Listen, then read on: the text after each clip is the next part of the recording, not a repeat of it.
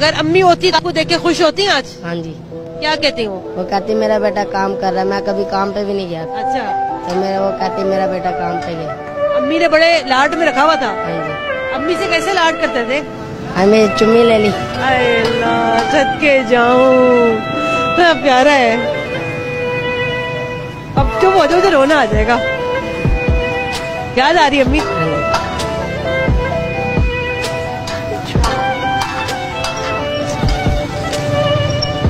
माए नहीं बननी चाहिए। हाँ, बच्चे की माँ बन गई है और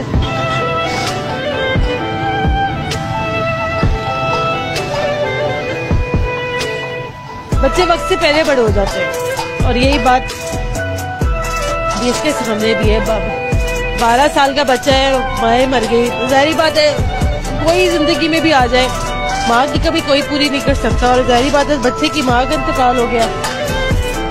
ज़िंदगी ने बड़े पे धक्के दे गए तो कुछ अब बताओ, कुछ कहना चाहोगे? मुझे रोना आ गया। सच्ची मुझे रोना आ गया।